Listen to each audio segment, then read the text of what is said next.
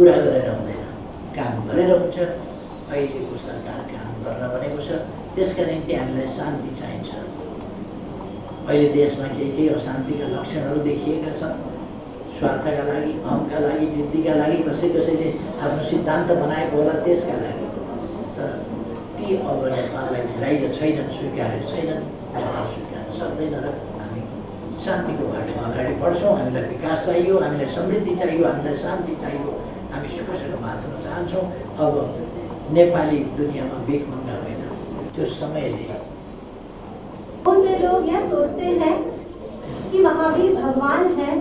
विधि विधाले देशलाई धेरै कमज़ोर बनाएको छ कामको पनि कमज़ोर बनाएको छ अब काम गर्ने बेला आएको छ बिना कटौती ठिक छ तर। शान्तितर्फको एउटा पाइला। चाल्दा राम्रो हुन्थ्यो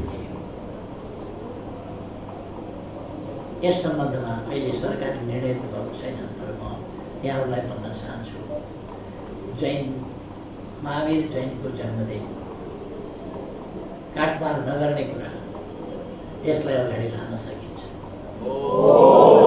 समाजमा शान्ति स्थापना हुने कायम हुने कुराको एउटा अंश एउटा पक्ष मात्रै हो सरकारले दिने शान्ति सुरक्षा।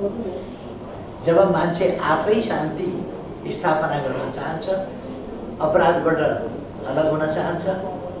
अपराध गर्न तयार हुँदैन। आफू जे चाहन्छु अर्काले त्यही चाहन्छ भन्ने सोच्छ। जब मान्छे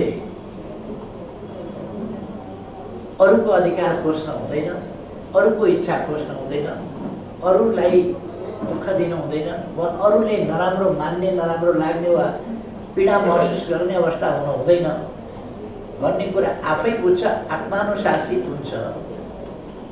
तब शान्तिका निम्ति। कुनै अतिरिक्त केही गर्ने धर्मको नाममा जातका नाममा हाम्रा भित्र जबरजस्त नभएका समस्याहरूलाई लिएर आउने प्रयासहरू भइरहेको छ। हामी खास गरिकन सञ्चार माध्यममा सामाजिक सञ्जालमा केही दिनदेखि नियतवश र अत्यन्तै यो यस- यसलाई यसलाई यसलाई हामीले बडो हल्का विषयको रूपमा लियौँ भने यसले पछाडि गएर यसले विकराल रूप लिन सक्छ। किनकि यो नियतवश छ भन्ने देखिन्छ। अहिले बन्दै गइरहेको वातावरण सबैतिर ठिकठाक हुँदै हुँदै गइरहेको अवस्थालाई जातका नाममा धर्मको नाममा कहीँ न कहीँबाट मानिसहरूलाई फेरि उत्तेजित बनाउने प्रयासहरू गरिँदैछ। यसलाई रोक्नका निम्ति यसलाई समय यी खालका दुष्प्रयासलाई रोक्नका निम्ति सरकारको तर्फबाट पनि आवश्यक पहल कदमी हुन्छ भन्ने विश्वास व्यक्त गर्छु।